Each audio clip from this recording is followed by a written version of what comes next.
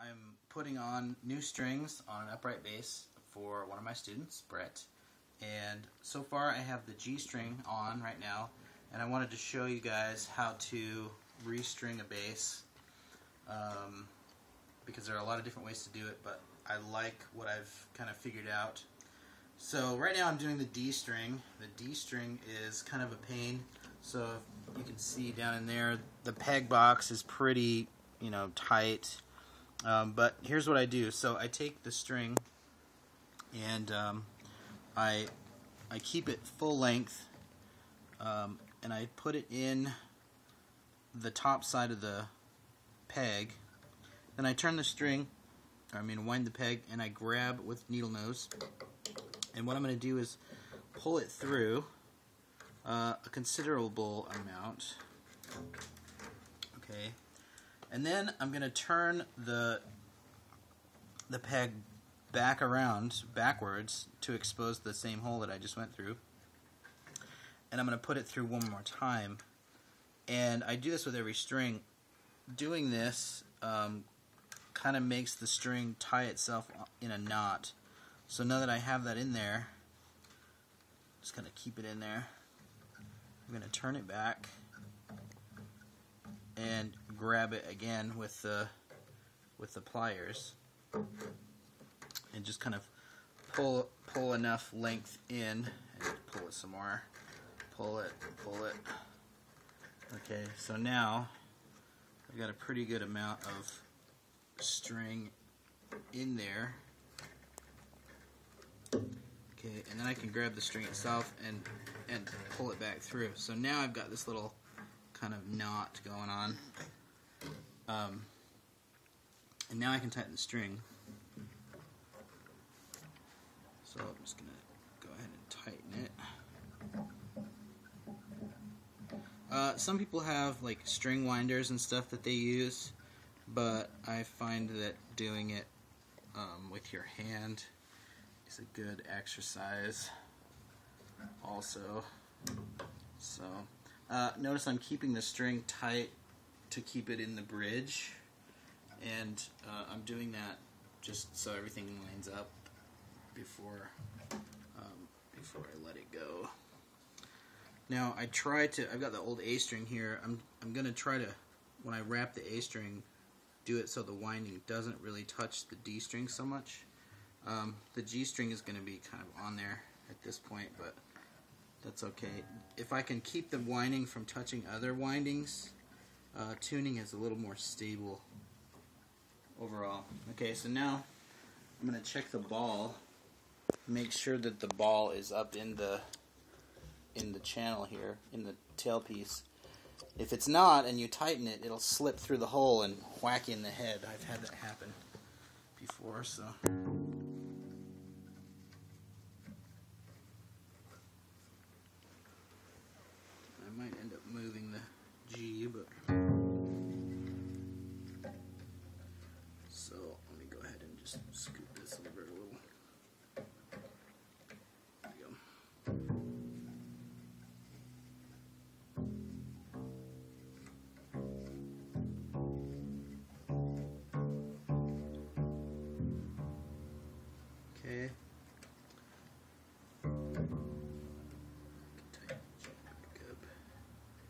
that's going to separate and make a little space. Okay, so now I have all this excess string back here, and what I can do now is grab the excess, bring it back around, and um, clip it. And I'm going to clip it just just inside the peg box here, and before I clip it, I fold it into itself.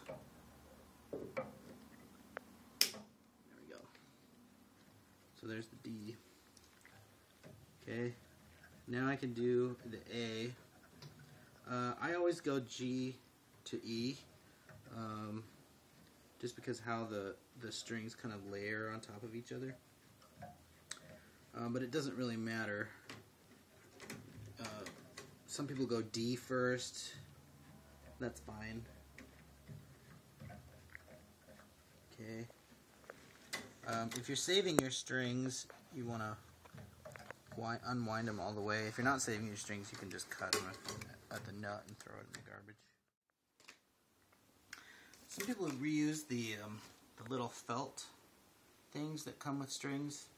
Um, I'm actually not putting these on this this new string setup, um, just to get more of a solid contact. It just depends on the bass, how it sounds. If it rattles, if it rattles, you can put put one on. Okay, so now what I'm doing is I'm getting this thicker string up into the channel here, making sure that it's all the way up, and then as I tighten it, it'll compress and, and squish into place. There'll be enough tension to move it. Okay, so with the A string, because it's a little closer toward the nut, I'm actually going to cut the string first. So what I'm going to do is measure about four inches away from the peg. So I'm about that far away. And I'm going to cut the string. Uh, again, I'm going to fold it first and then snip it. And I'm going to do the exact same uh, procedure that I did before. Now notice the D string is over the peg, the hole of the A string. So I need to be mindful of what side I put the string on and how the string winds as I go. I want it to be winding from the hole towards the side of the peg box. So I'm just going to do the same little thing again. Put the string in, reach in and snag it.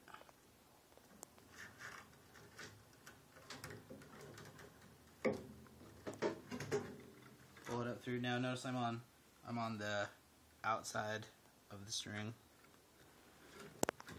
Okay, I'm gonna twist this back. And uh, put it through again. With the bigger strings, it's a little harder to do, but it's not impossible.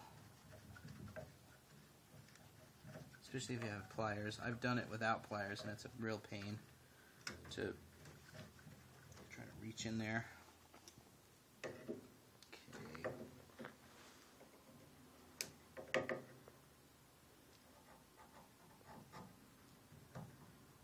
Okay. Okay, so now what I do is pull that string uh, tight and it creates a little knot there. And as the string gets tight, um, the knot will compress upon itself. And doing this, um, I've never had a string break since I started doing it this way, um, which is really cool. Because having an upright bass string break, especially on a gig, is kind of a frightening experience. It freaks you out. So, okay, so now I'm going to just kind of push it down into place and start tightening it and as I tighten it, it'll it'll you'll you'll you'll see the knot kind of tighten on itself. Okay, and I'm holding the string tight again.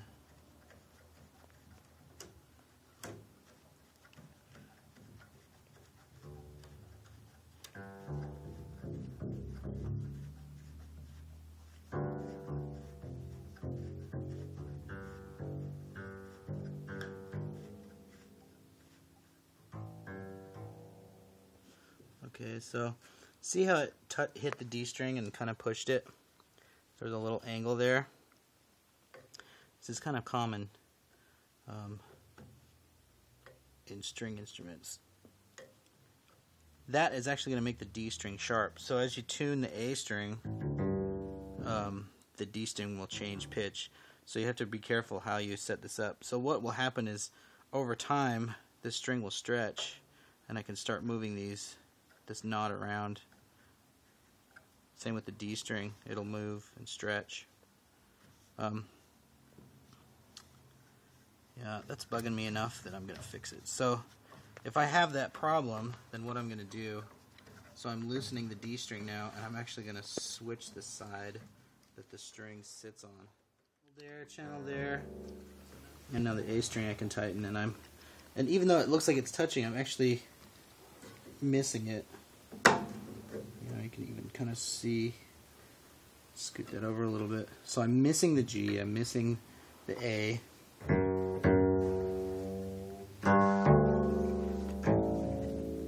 There you go. So now they're not touching. So when I tune, it'll be a lot more stable.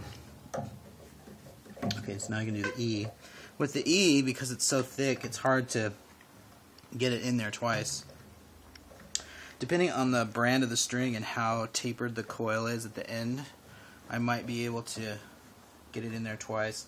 If not, I'll do it once with enough length to wrap. And it's uh, the A string is high enough away from the peg that I won't actually touch. So I wrap the E a little more traditionally without tying the little knot, and it seems to hold. You know, of course, it's been done that way for hundreds of years. Um, but I like these little knot things that I've done because um, they're neat. There's not a lot of string flying out, and everything's really condensed in there. So, and uh, you can stretch the strings a little quicker, and they settle into place nicely that way, which I really like.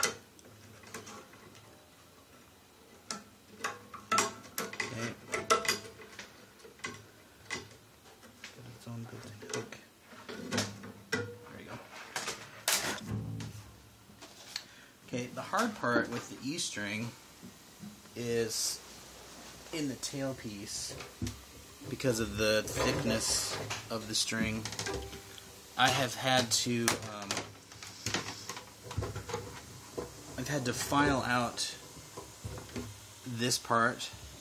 I've had to like widen this on some of my students' basses because um, it's not wide enough for the E string wrap so let's see how this looks. Um, notice how the wrap of the string is kind of like thinner one way than it is the other. Like that way. So I want to line that up with the channel. Uh, I'll do it this way so you can see it. Um, if I put the string in backwards on purpose here. So here's the here's the string. Now if I go this way, eh, this is pretty wide, but this way it won't fit as well as it will this way, right? You see that? So now I can put it in the right direction, and this one fits pretty well. Okay, so with the E string, what I'm going to do is I'm going to actually put it in the channel all the way up, and I'm going to push down with my thumb. See how I'm kind of bending that string into place? So I'm going to push down right there, and then um, with all the strings I push just a little bit on the bridge, but with the E string I push from both sides. See that? See what I just did? Bam. Okay. Do that with both strings. Okay. Then I come up and I'm going to measure off maybe six or so inches, six or seven inches away from the peg, because I don't need all of this for the E string. Okay, I'm gonna bend it, clip it. Okay, and now I can proceed in the same way. What I have to do though is I have to wind underneath because I don't want to hit the other strings. So I have to feed it this way.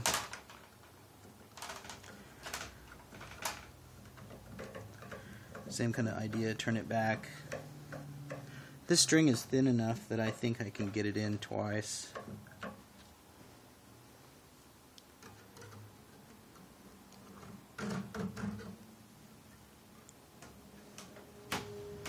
Pull it through.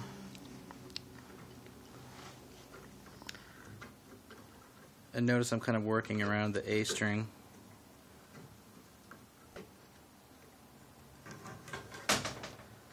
That's and that's okay. You can loosen the A string and scoot it off to the side if it's too difficult to do.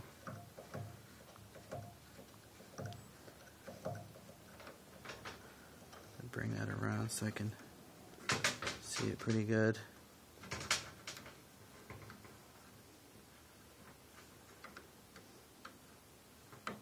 Yeah, that'll go in. Okay.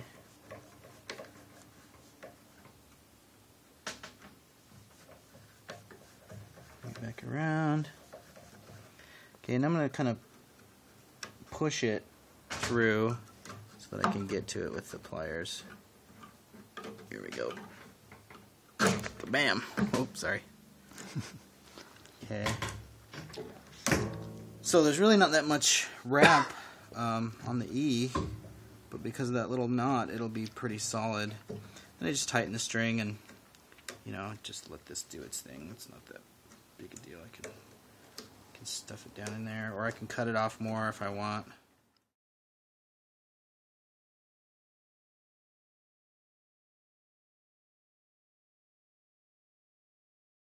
And the E string, E string will stretch the most, or rather the most often.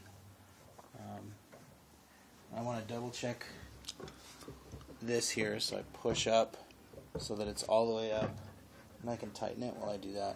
You can see it getting taut.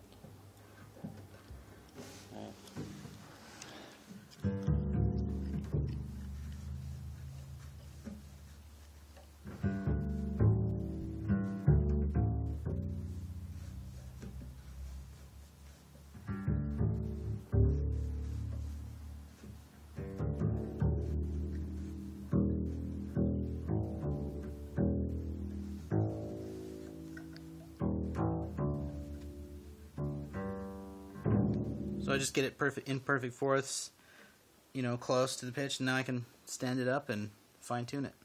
So there you go. That's how I string a bass.